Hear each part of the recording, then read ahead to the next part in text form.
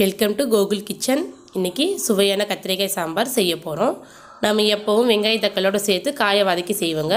இன்றைக்கி கொஞ்சம் ஈஸியான முறையில் செய்ய போகிறோம் வாங்க எப்படி செய்யலான்னு பார்க்கலாம்.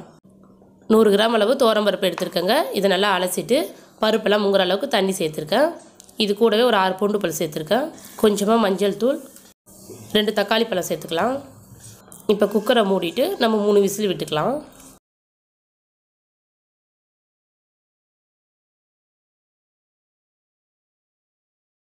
சாம்பாருக்கு ஒரு நெல்லிக்காய் சைஸ் அளவு புளியை கொஞ்சமாக தண்ணி சேர்த்து நல்லா ஊற விட்டுடலாம்.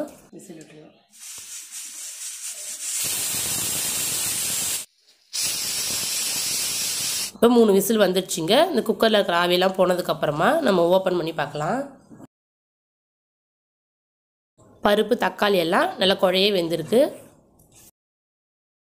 இப்போ இதை கரண்டியெல்லாம் நம்ம மசிச்சுக்கலாம்.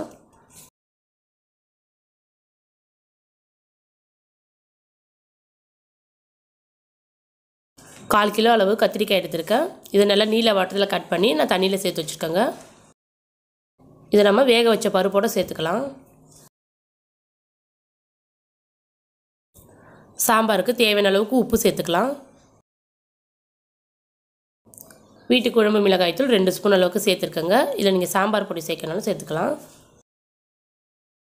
ஒரு டம்ளர் அளவுக்கு தண்ணி சேர்த்து இப்போ இதை நல்லா ஒரு முறை கலந்து விட்டுக்கலாம். இந்த சாம்பார் வந்து நான் கெட்டியாக வச்சுருக்கேங்க. கொஞ்சம் தண்ணியாக வேணும்னா இன்னும் ஒரு டம்ளர் கூடுதலாக கூட சேர்த்துக்கலாம்.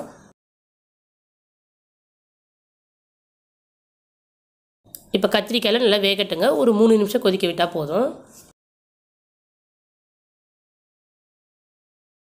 காய் நல்லா வெந்ததுக்கப்புறமா கரைச்சி வச்சுருக்க புளி தண்ணி சேர்த்துக்கலாங்க. அரை டம்ளர் அளவுக்கு புளி தண்ணி கரைச்சி எடுத்துருக்கேன். இதை நல்லா கலந்து விட்டுட்டு இன்னும் ஒரு மூணு நிமிஷம் கொதிக்க விட்டுக்கலாம்.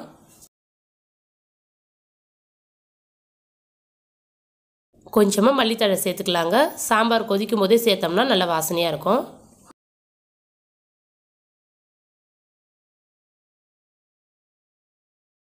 சாம்பாரெலாம் நல்லா கொதித்து ரெடி ஆகிடுச்சிங்க இப்போ நாம் இதை தாளிச்சிக்கலாம்.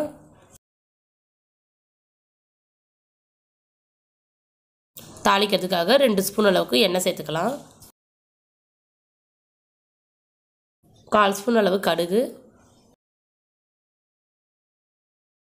அரை ஸ்பூன் அளவுக்கு சீரகம் சேர்த்துக்கலாங்க.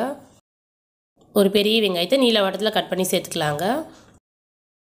மூணு காஞ்ச மிளகாய் கொஞ்சம் கருவேப்பிலை. இப்போ இந்த வெங்காயம் மிளகாயெல்லாம் நல்லா வதங்கட்டும்.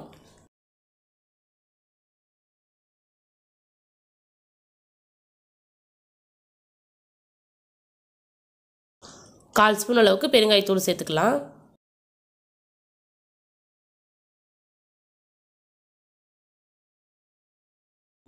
இப்போ வெங்காயம்லாம் நல்லா வதங்கி வந்துடுச்சுங்க. நம்ம சாம்பாரில் சேர்த்துக்கலாம்.